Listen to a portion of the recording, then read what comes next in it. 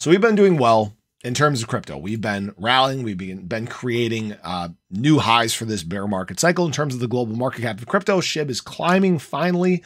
These are the things that you would hope to see. Right now, we're up at 5082. Again, we're still in that tough range of resistance for SHIB. It's, it's got a little ways to go, but we're getting there slowly and steadily.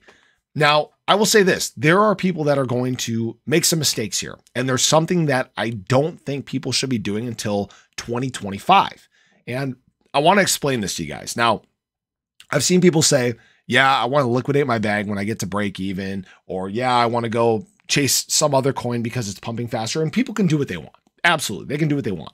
SHIB again is likely going to move slow in these levels. It's got a lot of liquidity to work through. This is where the highest concentration of that is. And then again, like we talked about yesterday, it can move very quickly once you get through those levels.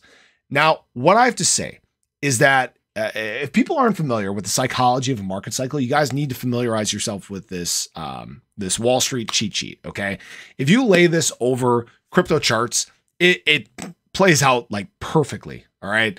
This is what we go through every four years. We go from the highs of a bull market cycle, thrill, euphoria, the excitement, right? Down into these areas of panic, capitulation, anger, and depression, right? For example, right now, we're likely just coming out of this depression phase. We're probably like right about here. And for example, what you may be feeling in here, my retirement money is lost. How can we pay for all this new stuff? I am an idiot, right?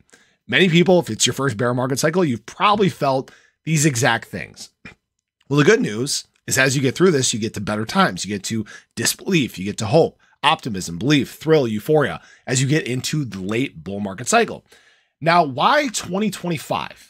Is so important. Obviously, 2024 is likely going to be a very good year in terms of crypto. It historically is. You get into the bull market, you get to the Bitcoin halving, you see the beginning of alt season. Late 2024 should be, if history holds true, that should be when you see about all time highs in terms of most assets in the space, Shiba Inu included. Okay, as always, this is not financial advice, but just look at what's happened throughout history. The reason why 2025 is so important is you have the highest rate of adoption and the most capital influx in that last year of a bull market cycle. Many people, if you are bouncing from coin to coin, if you are liquidating your bags at break even, which may be somewhere between obviously here and all time high, you are doing yourself a disservice because you're missing the most explosive part of a bull market. Again, people can do what they want. It's not financial advice. That's not what I'm here for. Okay. I will say this many people who have touched crypto and have gotten burned before, they're not going to come back until all time highs, until basically the beginning of 2025. That's when you will truly see mass adoption taking off. You will truly see those people that have been scorned by crypto, the pe- people that are calling crypto dumb and calling people idiots for being in crypto. That's when those people begin to get in. And this cycle starts all over, right? There are people that become bag holders for the next market cycle. They hate crypto. They go through their first bear market and, and then away we go into the next bull market cycle, right? That's why I think 2025 is so important. There are people that are going to, yet again, make this mistake. They're going to liquidate. They're going to walk away. They're going to kick themselves that they didn't stick around. Shiba Inu, like I mentioned yesterday, I think has one of the highest potentials as we get into a bull market cycle because now there is something that SHIB has that it did not have last time, and that's brand awareness. Okay. People are familiar with Shiba Inu.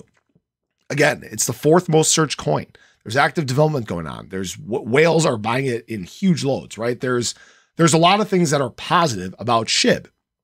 And right now, the lagging metrics lagging metric has just been that price. And again, it's because of the liquidity, right? That's just it's simply what it is. This isn't, you know, it's not witchcraft. It's not science. It, it just what it, it it's just what it is right now.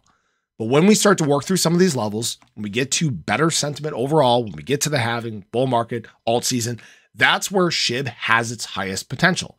And I think if people are leaving before the highest potential, I don't know what to tell you. So thought I'd share that with you guys. Hopefully you enjoyed the video. Let me know your thoughts. Let me know what your guys' plan is moving forward. So appreciate you guys as always. Show your support below. Have a great day. I'll catch you in the next one. Take care.